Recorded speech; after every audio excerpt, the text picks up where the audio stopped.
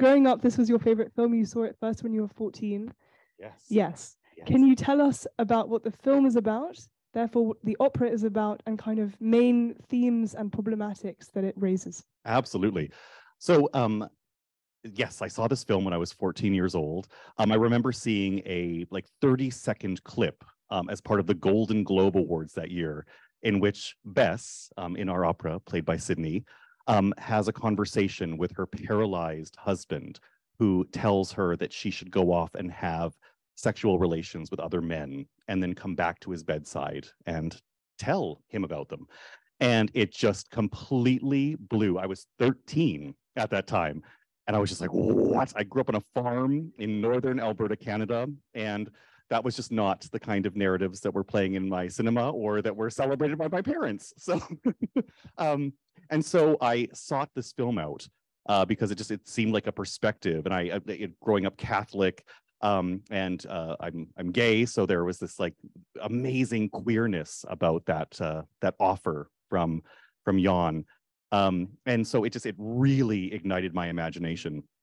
So I uh, I saw this film, uh, and it's about a Scottish woman living on the Isle of Skye, who falls in love with a beautiful, beautiful Norwegian um, oil rigger, uh, and uh, they are given the authority to marry within the Calvinist Church, and uh, they they do, and he goes off to work um, immediately after because he only has a few days off to to get married, uh, and it sets Bess off on a sort of tailspin. She has some sort of um, there, there may be mental illness, maybe not. There's something that she's dealt with a lot of loss. Um, she's uh, grieved the loss of her her father and her brother, um, and so um, there's just something sort of uncalibrated, and it's really uh, sort of pushes her over the end, over the edge. Sorry, she goes, uh, he goes off, and after he's supposed to be away for a month, and she is told by her mother that she's to endure uh, and that everything will be okay. She has to behave like a, a decent human being, um, but she just can't handle it. She wants her husband back so badly that she prays to God to send him home, and he happens to be in an accident. And so she believes that her prayer to God has caused this accident and has sent her husband home in a paralyzed state, and thus sets her on a spiritual journey um, where she is reckoning with all of the things. She's trying to be a good human, and she's listening to all the advice from everybody in her life the, the church elders, her mother, her husband, who's telling her that she needs to go and be free and and have these just live her life like normal and that she can't just be beholden to his bedside and so it's uh, that is really the crux um, she goes on a spiritual journey to try to save her husband's life uh, and it results in in some pretty insane actions. Um, and you should come and see the opera because I don't want to give away too much more. Um, but that's the crux. Yeah. That was great. Oh, thank you. I haven't done that in a while. So. It's really good. Thank you. Uh, Missy, you you wrote the music for this. Yes. Um, we heard just some of these themes. I want to kind of highlight them and, and uh, give them a name to them. So there's the intersection of religion and sexuality, misogyny and liberation, devotion and insanity, physical health and mental health, that which is traditional, that which is deeply unorthodox, moral questions, what does it mean to be a good person, what indeed does it mean to be good, uh, and psychological questions. Is there anything to add? That's just act one. um, no, I there's so much in that. The ones that um, the main themes, there's so many themes that run through this um, story and this film and this opera, and um, it's a story that keeps on giving. I mean, I've lived with this story now for eight years, thinking about it nearly every day, and I'm still discovering new things in this story, new themes. Um, so I think the ones that we kept coming back to in the process of writing and, and up until this day in the rehearsal process are the themes of goodness, which came from Lars von Trier. He said he wanted to make a film about what it means to be a good person, where everyone in the film is doing what they feel is the most good and yet still terrible things happen. So how how do we get from point A to point B? And that journey is so interesting. Um, I was also interested in in uh, working uh, creating a female character who had a very complex morality um, where we are rooting for her, we're rooting for her, but then she's doing things that we don't agree with. And then so we feel this conflict as the audience. And that is, I, I love, um, you know creating works like that where we come out of the theater with more questions than answers and where we're not sure maybe who the good guys or the bad guys are um, and so this film really uh, played into all of that I, but i think beyond all of that was this idea that um, you know, Bess, I keep gesturing to Sydney because to was, was our Bess. um, and Bess is a woman in an impossible situation. So as Roy said, you know, her, every, everyone around her is telling her what to do and they're all telling her different things. The line of acceptable behavior is so small and thin as to be non-existent. So she's always falling off of it in one direction or the other. And that was also very interesting and very familiar to me as a woman. And I think that's the story of all the women in my family, um, most of the women who I know. And um, I was really attracted to the idea of creating an operatic work that explored that. And so and maybe, so let's go to you, Sydney. You've been gestured towards. Um, how, do, how, does, how does it feel living, living these questions every day and performing them on stage? Um, it's definitely the most intense piece that I've done it's it's been intense to be back in rehearsal after a few years away from this piece um, and to be sort of living with all those emotions and themes and and questions every day and it, it really starts to get under your skin and i think it has the same effect for the audience when they watch it um, it just has a, a, really powerful effect because of the extremity of the situations um, so yeah maybe as a way to bracket this first discussion, you might perform for us. Happy to. and maybe we could just set up briefly what you're about to perform. All at once, no. she wrote it. So, oh, so the uh, you're going to hear the prologue. This is the first bit of, of vocalizing that you you hear in the entire show, and it is Bess uh, pleading to the the councilman of the church to let her marry this man. Um, his name is Jan, it's called. Um, and in the production, and in most of the productions we've had, this is a, one of a few productions that we've seen, and it's really fascinating to see different directors and how they approach the work. Um, this is our biggest um, and our most widespreading uh, production. It's gone to, uh, it began in Scotland, we've taken it to Australia, and now we are here in Paris, and uh, it's going to the States next. Uh, so we have a couple of presentations over there. Um, and so, uh, yes, this is a really, uh, this is sort of the introduction to the character and uh, her introduction to the councilman and the audience of uh, Jan, who will show up in about 10 minutes. When you go see the opera, he'll show up. And I would just add to that that the um, there's not really a traditional overture to this opera, um, but there is a sort of fake overture, um, which you'll hear. And this was the really um, me setting the Scottish scene. This is to me my interpretation of the Scottish landscape, which um, we visited um, Scotland before we wrote the piece, and I was struck by the extremes of that landscape. So it's these jutting rocks coming out of a very luscious meadow, and it was just uh, you know that ends in a cliff and um, it was just a, a, landscape of extremes. And I thought, oh, this is the way this opera will begin with this little 10 measure um, setting of the scene. Um, I, I, what I was so excited about hearing this in person is because, as I said at the beginning, this is a look behind the scenes at the opera, so we saw that. But I'm so curious. Um, there's the behind the scenes too of the composition process, the writing process. Can you tell us a little bit about what that looks like? You know, we often host authors here, and we always get questions in the Q&A.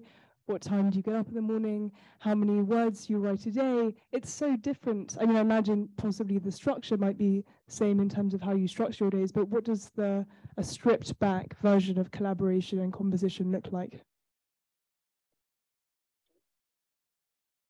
Okay, so uh, the uh, it all begins with the libretto. Um, well, it all begins with the composer and the librettist coming together and trying to figure out what story they want to tell together. And sometimes that takes uh, years. Sometimes it takes a day. I I actually told Missy that I thought that she should consider writing Breaking the Waves, and she initially said no. Um, and then she watched the film and uh, she said that it wouldn't let her go. And so um, after a while of, of, conversations like that, but then getting the rights, we had to option the film, and that took us about a year. Uh, and then uh, I started writing the libretto. And so I had a full draft of the libretto done. And then we went to the Isle of Skye and we had this amazing opportunity to actually have Scottish uh, people. We would just meet people at um, coffee shops and uh, taxi drivers. And this woman, we stayed in an Airbnb, and she gave us, uh, she read uh, the mother's arias, the text. And so we recorded her in her beautiful Scottish accent.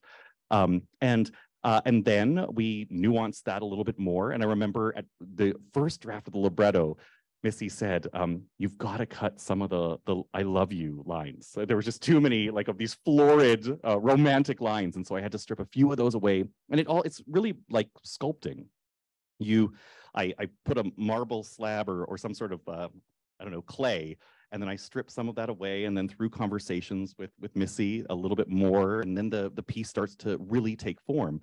And then Missy adds the music. And that's when the libretto takes a whole other shape because all of a sudden the music will dictate that there needs there wants to be an aria here or um, you've written two arias in a row and we need to sort of get rid of one or, or whatever that would be. So it's like the, the music sort of reveals how the opera wants to function. Uh, and so I'm on call during that process. Um, Missy is currently writing uh, um, Lincoln in the Bardo, an adaptation of George Saunders' novel with me for the Metropolitan Opera. Um, and we're currently in the middle of this process where um, it's like, oh, I need a line here, or um, I, I, you've said that there are are six of these Mary Todd characters, but I really want five, and, and like, and so music dictates that, and we sort of make adjustments so that the the opera can find its optimal form. Um, so that's basically, um, I, I don't, I, I don't get up terribly early to answer you. um, and, uh, and I don't have a word count every day. And I, I, you don't have a note count, I don't think, every day. No. Yeah, but you, you know, you have deadlines and deadlines are, are so important. Uh, and so that sort of keeps us on track. Um, yeah. Yeah. And then um, Royce, once we have that sort of finished libretto, um, uh, again, we're on, I'm in touch with him. We live a mile away from each other in Brooklyn. So um, we're constantly in touch and constantly seeing each other all the time and constantly talking about our work.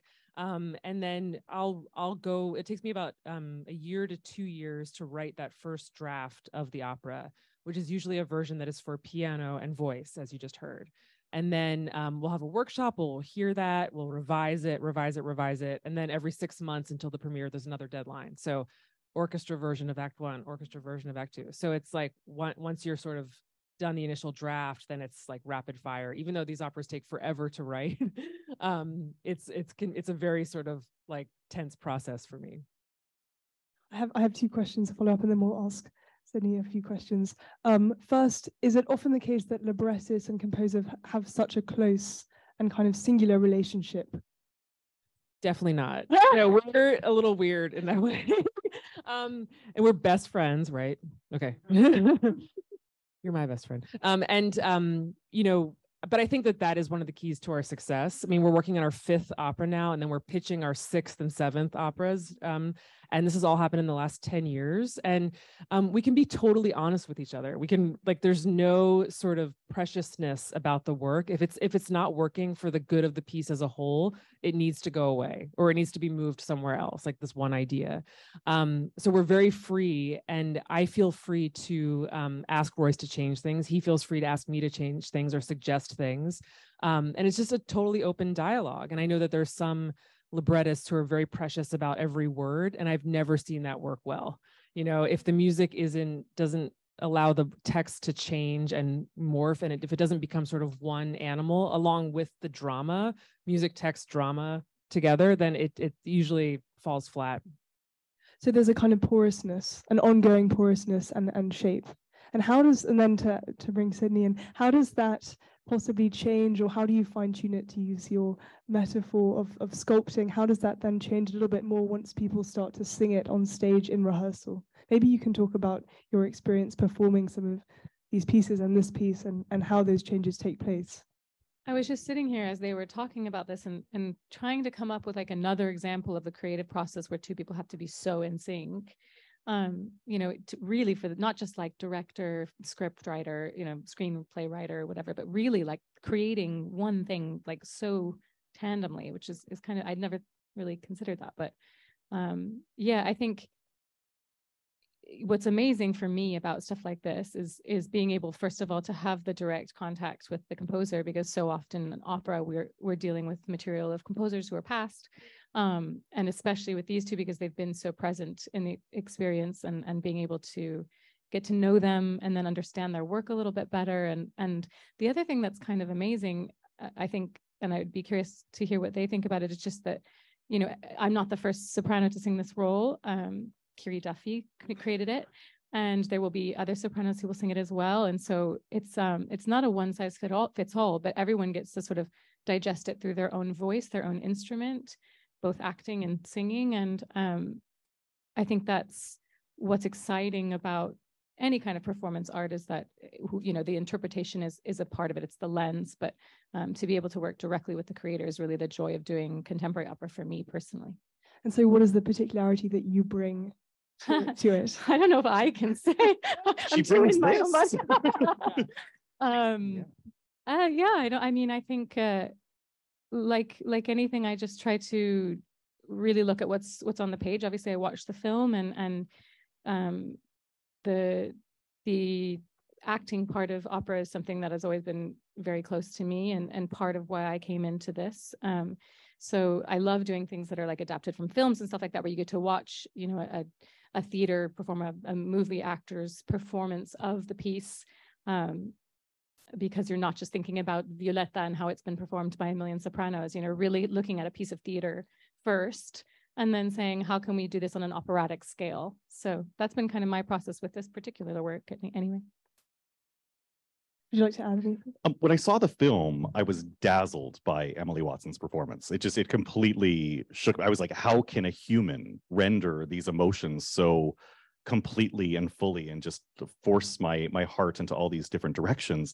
And it was her first film, and maybe she was lucky that it was her first film because she didn't have the the pretense to to sort of hold her back. Um, but I knew when I when I proposed this to Missy that if we did this opera correctly, that we could offer a singer the opportunity to give that titanic performance that Emily Watson sort of gave the prototype for. But we wanted to create our own animal, our own beast. And then with each director, um, they come and bring their own ideas. And so it's really this Bess is truly a collaboration between this, the document, the, the manuscript that Missy and I create, um, and then Tom Morris, who is just an absolute theatrical genius. And it, through conversations with him, uh, I think that we have sculpted this this particular Bess, uh, and it's really and it's ongoing too. Yeah, we're finding now in Paris we're having a you know more time to continue to to mold it like you were saying with mm-hmm. the clay and yeah. What's changing now? Well what do you guys say um well we're we just made like in the last like half an hour ago made like some small cuts and then we added some measures in another place just to based on this like a more organic staging which is great you know? It's it's what the again the music needs to bend to fit the drama words need to bend to fit the music it's like all kind of one animal. Um yeah and you were suggesting new choreography which i loved and like it's we have this this rule when we're making work that the best idea in the room wins and doesn't matter where it comes from it could be someone literally walking by the theater it's like we should do this. Um but you know if it's a, a singer a costume designer like just everyone needs to comment on the whole and i think we've finally really achieved that in paris and we didn't really have time to do that when we did it in edinburgh and certainly not in any of the other productions so so this is a real gift I'm curious, who's actually seen the film? Can you raise your hand if you have seen it? Okay, um, yeah, I hadn't seen it, so I, I didn't know. Um, the other thing that you said that I wanted to ask you about to, to uh, represent the non-opera specialist uh, or non-opera um, informed member of the general public. You talked about arias and you said that, so I guess the first question would be, what is an aria? An aria is essentially a song. It's an operatic solo.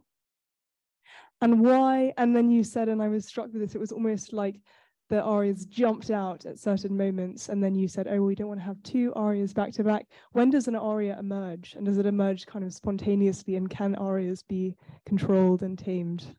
Ooh sometimes you don't want them to be tamed uh, they're sort of ferocious uh, benchmarks in a piece. And so his name is Jan was the first piece of music that we composed, and we did it for a 21st century Liederabend in New York City um, back in like 2013, maybe.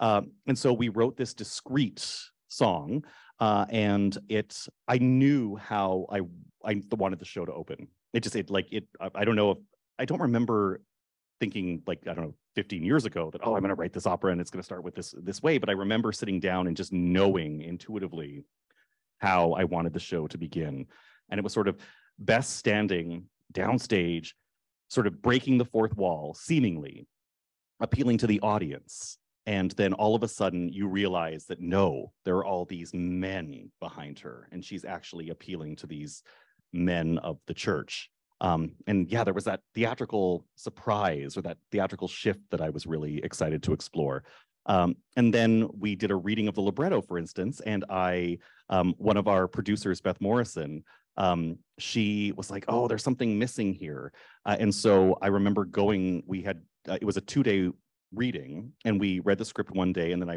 I went to my hotel room and got to work on it and then we re- re- read the script again the next day and I wrote a new aria, uh, Your Body is a Map. Um, and so that was something that emerged that night. I knew that I had to, I wanted to address an issue that one of the producers um, had had brought up. And so I offered this idea and it's one of my favorite moments. It was one of those things that that truly emerged um, out of thin air, basically. Um, but it was also informed by our trip to Skye. Um, for in that aria, she talks, she looks at Jan's body and she she sort of says, "Oh, your your chest, I can trace the the trails, and here is a, a loch, and here your rib is a, a lake, or, or all these different um, sort of scenic elements of Scotland." Um, and so uh, it did. It was informed by um, by this amazing trip and this book that I picked up in Scotland um, called Tramping Through Skye. And I was like, oh, there's something really cool about these people back, you know, centuries ago who blazed trails in this wilderness and and the mountains and the lochs and the the meadows and and the sheep um and that sort of thing. And so yeah sometimes arias really do just emerge and sometimes you do have to sort of fight for them and, and figure out how you're going to honor having a star mezzo soprano uh, and give her a moment to uh, to really shine in act two. And so you're like okay how do i facilitate that?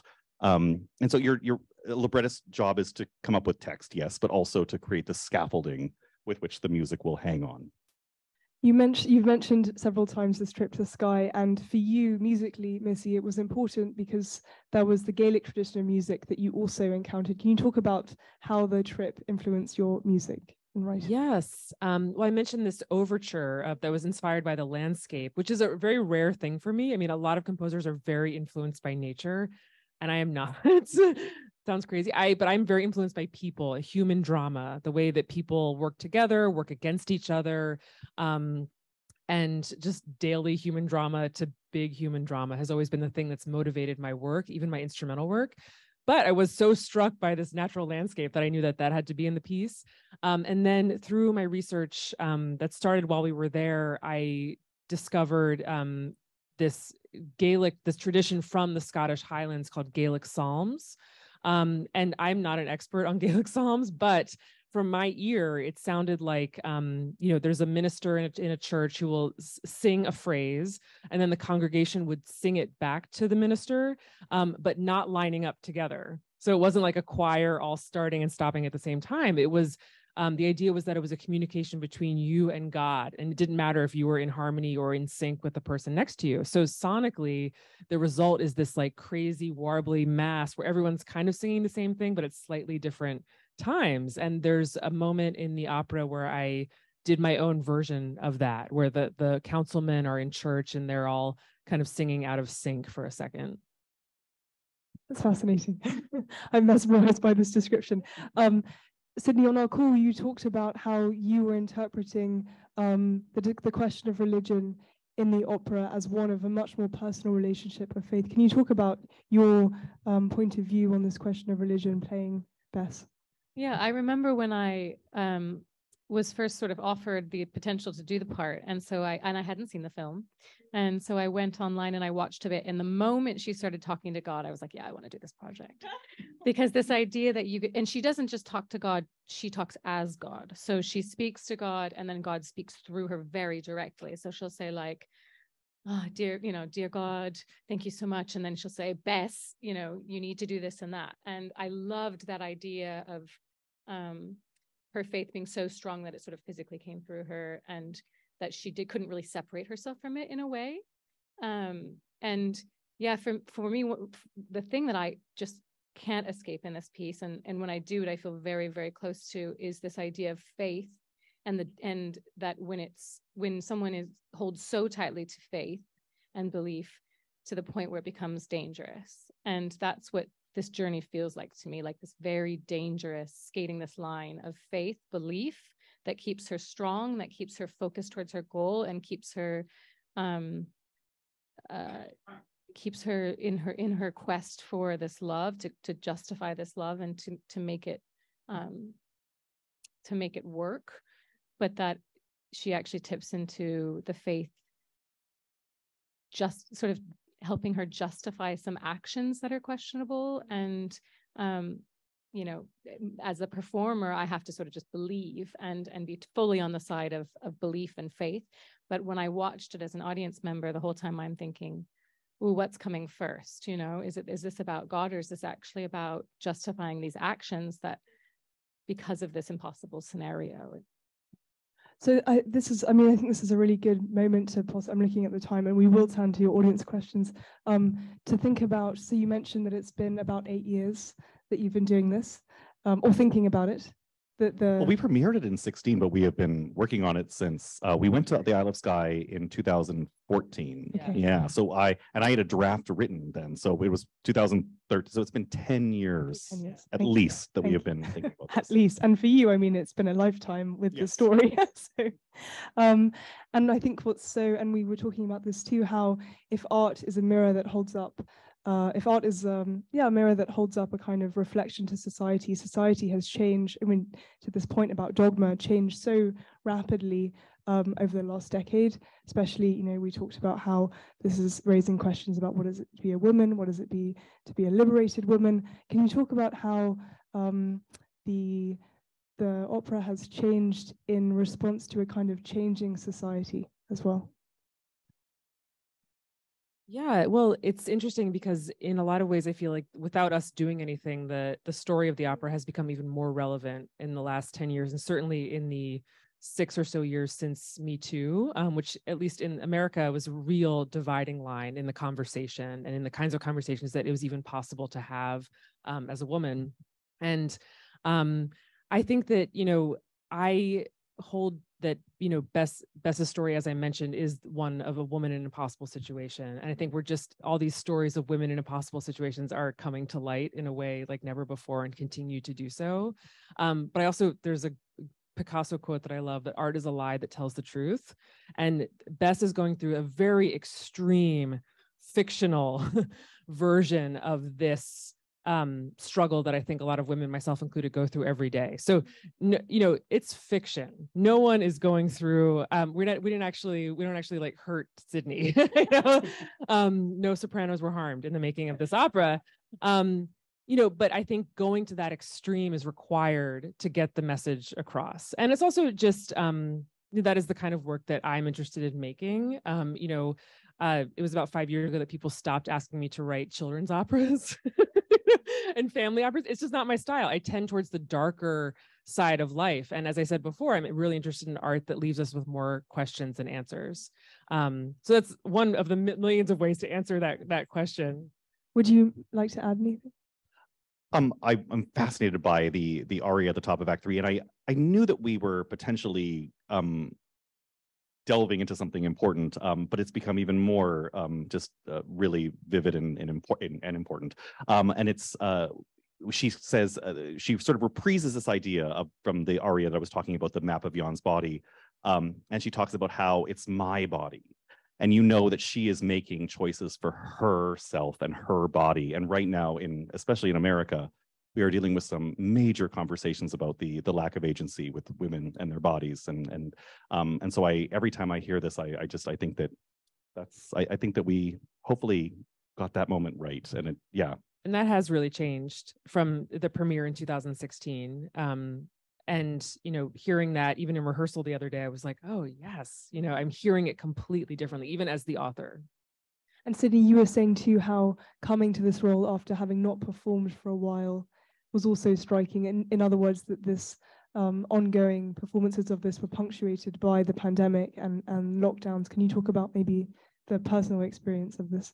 Yeah, I think um, you know, culturally we shift and we change, and when we come, it's interesting as an as a performer or an artist to come back to a piece you've done before with with new perspective, and I definitely have different feelings about it this time. But you know, some of the things remain the same for me. This idea of this person who gets outcast by their community because they're not doing things that are accepted, and that's a theme that I think you know we all know see that every day, and somehow we as people are struggling to get over that hurdle to just accept people and to love them even when it's hard to love them. And so um that's that's sort of been consistent you know before and after the pandemic. But yeah i mean it's it, it like the body my body as a map definitely has a, a slightly different resonance now which is also great that you know that's why it's so wonderful when these contemporary operas get to have many many performances which isn't always the case because you get different audiences and you also get to see how it resonates over different periods of time. Okay, let's have a big final round of applause, please. Thank you so much.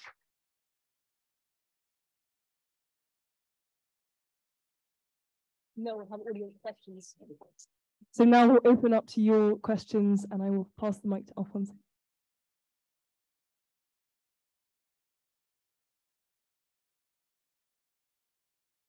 Hi, guys.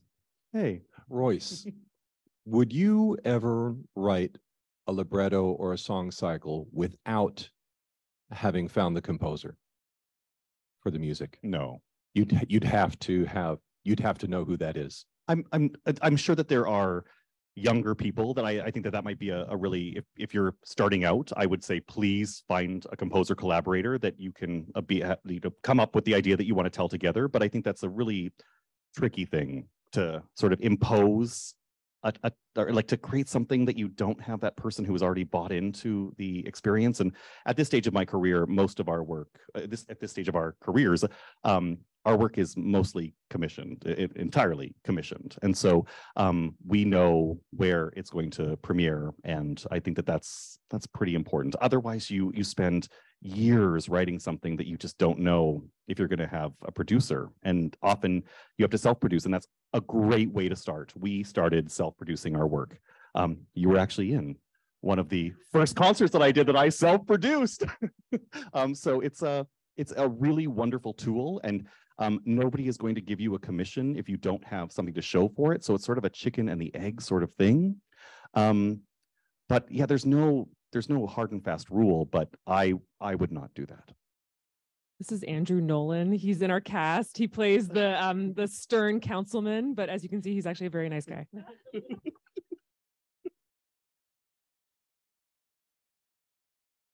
we don't bite.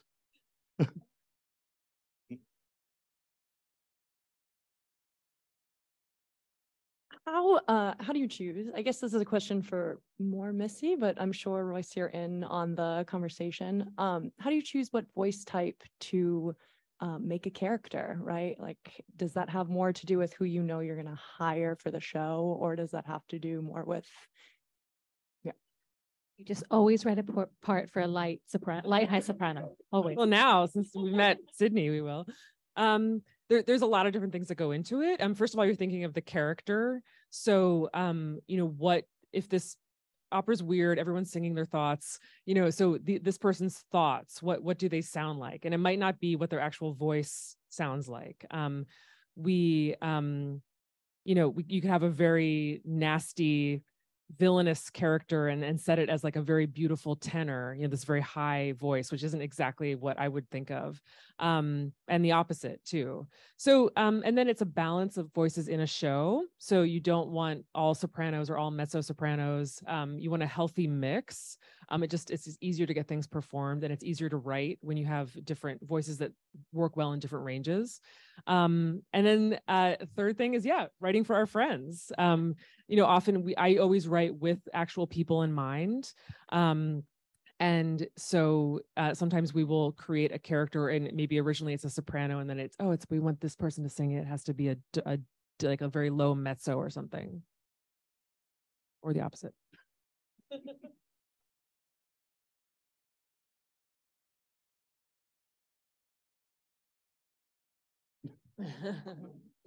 Oh, no, You know, I've been in the business for a while, but it never occurred to me that one could have a reading for a libretto.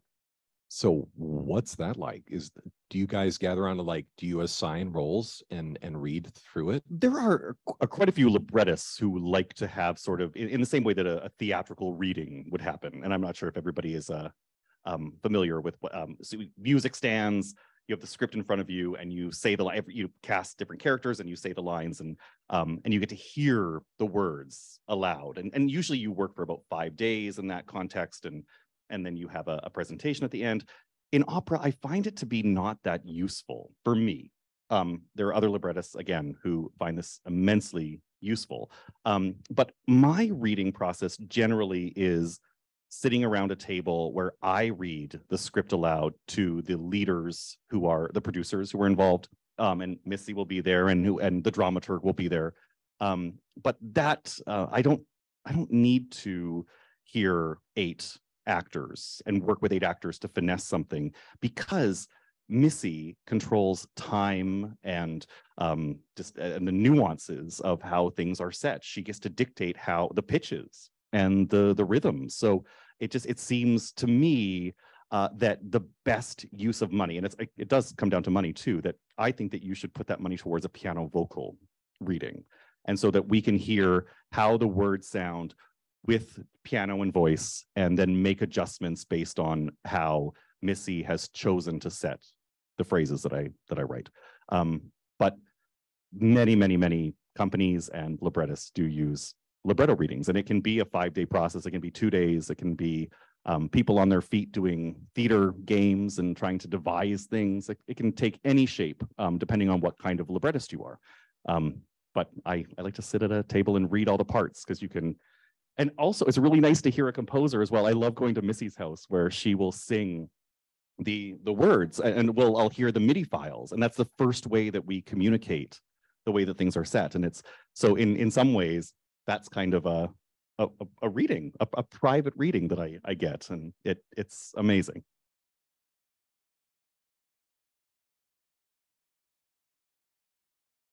So first of all, thank you so much to all of you. This is absolutely incredible. It's like I always like to hear the backstory, and this is like a perfect backstory. But so what I'm wondering is so much of this depends on your collaboration. Missy, how did you get to this point to start writing opera? And how did you guys meet? And how did this happen? So this is a silly question. yeah the tr- the real backstory um i mean i have been a composer almost my entire life i started writing very young when i was about 10 and um i knew i wanted to be a musician i was not i was a, i'm a pianist but i'm not a, a perf- i'm not really a great pianist who's going to do soul recitals of beethoven and um, i wanted something creative that would allow me to access all art forms and like opera is the ultimate manifestation of that um and but i still didn't think that i i wasn't really interested in opera um until i was in my late 20s um just because opera at, you know 15 years ago at least in america it was a, a very different being. There weren't as many contemporary operas. There weren't a lot of independent producers. I mean you were either writing for the met and you were writing these massive works with full chorus and orchestra or you weren't doing it at all. Um, there was nothing that sort of exists that I knew that existed sort of in the, the middle ground like this does. Um, so I had written, uh, I'd started to write an opera, um, our, which ended up becoming our first opera called Song from the Uproar, which is um, a sort of a retelling of the life, um, or based on the life and writings of Isabelle Eberhardt, who was a Swiss explorer who went to North Africa by herself in um, the very early 20th century, in late 19th century, and dressed as a man and led this very independent operatic life. Um, so we did a piece based on her journals, um, and I had started it myself because I didn't know any librettists, and I had written about 25% of it, and I was really stuck. I didn't know how to create something that lasted an evening. That's a whole different skill. And then I went to Carnegie Hall one night to um, actually support a friend of mine, a friend, a mutual friend, David T. Little, great composer. Royce had written the libretto for um, uh, their opera Dog Days, and they were performing a snippet of it at Carnegie Hall. And I just heard it, and I was like, "Who wrote these words? This is crazy! It's really, it's a crazy, wild, wonderful piece." And um, and I went up to him afterwards, and I gave him a flyer because I was presenting like this little chunk of my little opera that I was doing, and I I asked if he would come, and I thought he didn't like me at first, but that's just me. That's just me. He's he remembers it differently. And then we had lunch a week later, and the rest is history. And then every every opera since then, we've been hired as a team to to write it together. That was a really great event at Galapagos Art Space as well. it was a pleasure to be there.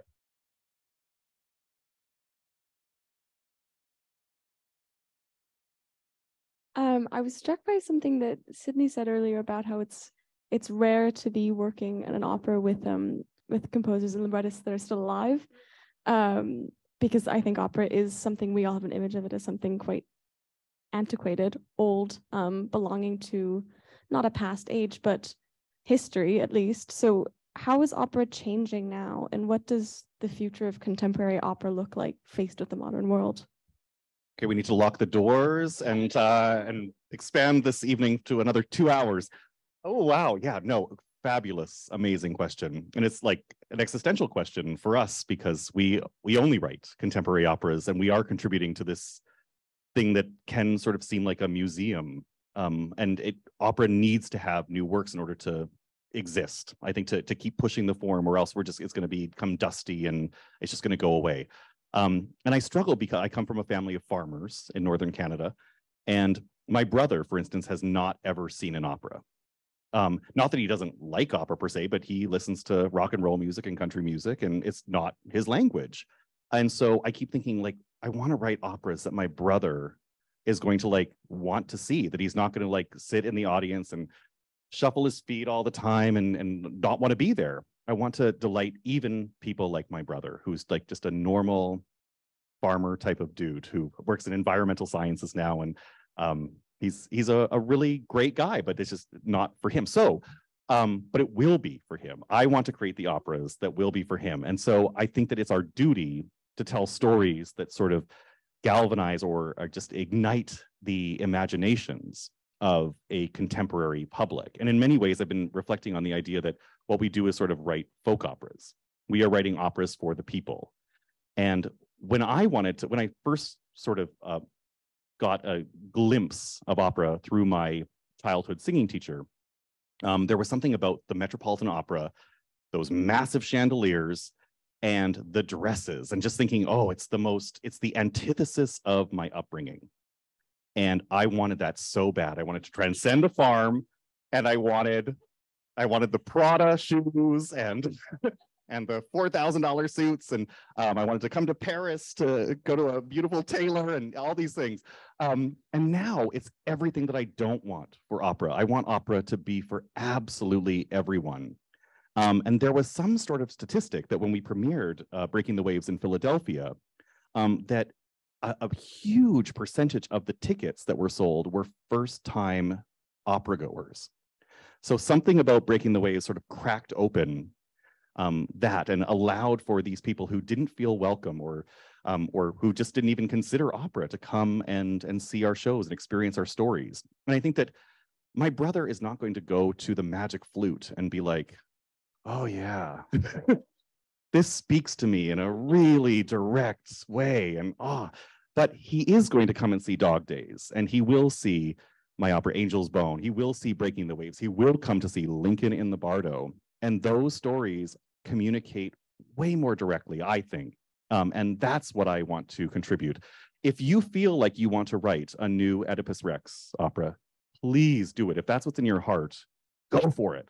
Um, I want to tell contemporary stories that that um, feel like they do hold a mirror up to our contemporary experience. That what we like, we are all in a room together, um, and I think story. we are inundated by stories whether it's a, a three minute song on the radio or whether it's a, a book that we're reading from this beautiful library or what have you i think that we we love stories and we I, I, think that it's it's important that we that we leave that our legacy is is contributing something that feels like it could only be written right now And that's what I, Missy's, yeah. and and Missy's language is is such that it, yes, it comes from a, a classical music tradition, but it feels like what she does is, is her prism is so contemporary and like it's only hers. Like it's it's really really exciting. I'm I'm obsessed with with my best friend. And I would just add that I, I came to opera initially through music videos. You know, so as a kid, I did not grow up in a musical household. I took piano lessons, but that was the only sort of culture. I grew up in small town Pennsylvania, um, in a sort of isolated part of Pennsylvania. And um, I watched MTV like four hours a day. and this was back in like the late 80s when they were still just showing videos on MTV. And I thought, this is the ultimate art form. and so I came to it through that. And then I was like, I'm studying music. Oh, like my version of that is an opera. Um, and so it always I, I also kind of I don't like the elitist side of opera. I love getting dressed up just like anybody else, but like I don't like when people feel that that's a, a, a deterrent because I'm like, oh, this is just a massive music video. You know, I just wanted to do the biggest, craziest thing I could do in my art form and use all my friends. So I think if you go into it thinking of it that way, then it, it can be much more approachable. Yeah, I would say like it's been also really cool to see the way that this rise in contemporary opera in America, especially because I think there really is a bit of a renaissance going on, is starting to affect the way people are also staging the traditional pieces. And so it's having a ricochet and because we should we can't leave them behind. They're a huge part of, you know, the the the you know what brought us to this point and it's really pushing people to look at these these older pieces in new ways and to bring try to make them feel more relevant as well and bring new light to them and be a little bit you know rebellious with how we stage them i even know directors who are starting to sort of like cut out this bit and add in a contemporary piece here and and so it's been really cool it's a little bit of a I think it's a rebellious time in our art form. And I think it's a time that people are starting to sort of throw away a lot of the things that have kept it chained to this museum piece of the past. And so it's an, it feels like an exciting time to be in this genre of music. Well, and also, I'm not sure if, if, any of you or all of you read the amazing article in the New York Times recently where Peter Gelb um, sort of said that that the the classic stuff isn't selling at the Met anymore, and he's committed to doing three or four contemporary pieces a year, which is insane and so exciting. And they're selling out. Oh my God, Fire Shut Up on My Bones was such a success that they're bringing it back. The Hours was such a huge success. They're bringing it back. The Hours um, was on the top box office list when it went into the Met in HD. So it was like the ninth highest grossing movie in the entire country that week which is it's so exciting. So it's just it, where all of a sudden post COVID, um, there is a huge shift in the priority of new works at the Metropolitan Opera, which was not something that I would have ever imagined in my wildest dreams. So, like speaking in Paris. like speaking in Paris.